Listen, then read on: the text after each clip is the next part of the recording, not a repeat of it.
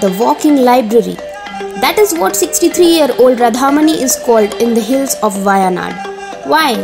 Because for years she has walked kilometers every day to deliver books to women, kids, and the elderly in villages with no access to them.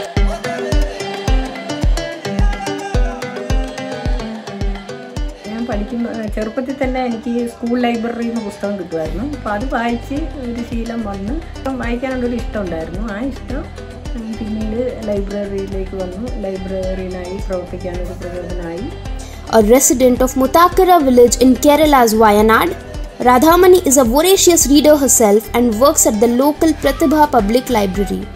Every day from Monday to Saturday, Radhamani walks roughly 5 to 6 kilometers through rugged terrain carrying a bag full of books to deliver to the ones who love reading.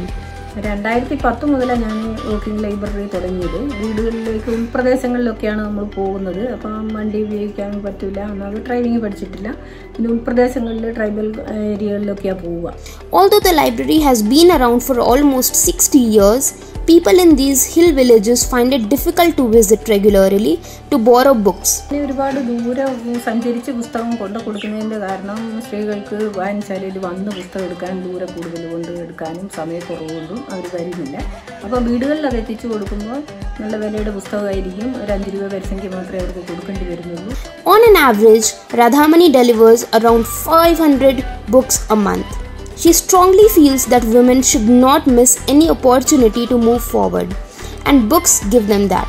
പുസ്തകങ്ങൾ ഞാൻ വീടുകളിൽ എത്തിച്ചു കൊടുക്കുന്നവർക്ക് ദൂരെ വഴിയൊക്കെ ആയിരിക്കും എത്തിച്ചു കൊടുക്കുമ്പോൾ അവർക്കതൊരു നല്ല സംതൃപ്തിയാണ് ഞാനും എന്നെ ലൈബ്രറി കൗൺസിൽ ഏൽപ്പിച്ച ജോലി കൃത്യമായി ചെയ്തു എന്നുള്ള സംതൃപ്തി എനിക്കും ഉണ്ടാവും Radhamani's inspiring story reminds us of the saying the more you read, the more things you will know.